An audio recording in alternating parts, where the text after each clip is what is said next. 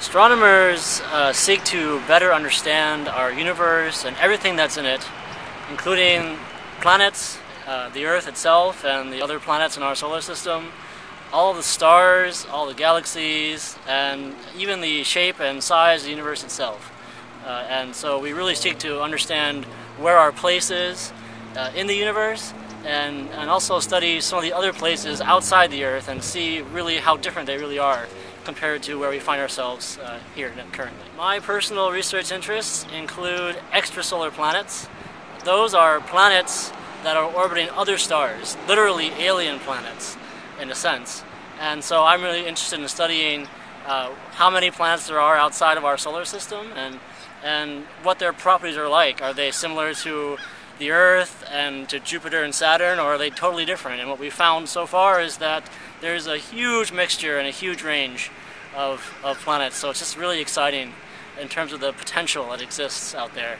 The other thing I study are star formation and understanding how planets are formed uh, when they're still just dust and gas. And I also study eclipsing binary stars, uh, which are pairs of stars, to better understand stars like the sun and measure their mass and radius with very high precision. Only certain astronomers uh, spend a lot. Uh, I'm what they call an observationalist. So I primarily uh, look for and observe real objects as they are today.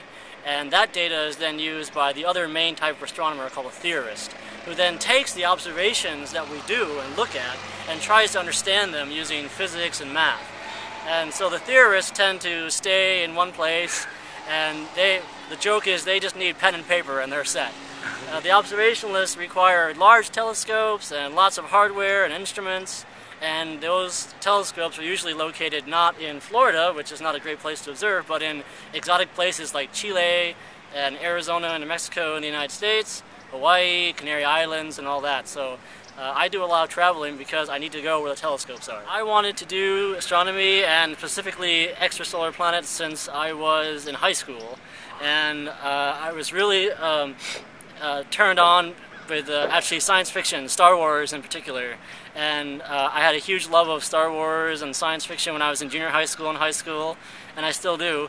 And it got me thinking all these magical and incredible planets and worlds that they created for these movies and these TV shows, do they really exist in real life? And right about that same time, in the mid 90s and late 90s, is when we first started to discover real planets uh, for the first time as well. And so uh, that combination led me to, to really want to do what I could to, to further understanding and, and see what, what kinds of real alien worlds may exist outside of our own solar system? Well, um, I'm a big uh, proponent of animal rights, so I actually volunteer for a pet rescue group called Gainesville Pet Rescue every week. Uh, we take in homeless animals and give them a home until we can find a permanent home for them. Um, I'm also a big video game player, movies, uh, music. Uh, I like to travel uh, when I can, but I usually travel for astronomy and observing, so uh, but I, I, try and do a little bit of traveling as well. And I love museums and all that too, so uh, Uh, that's really what I try and do in my spare time.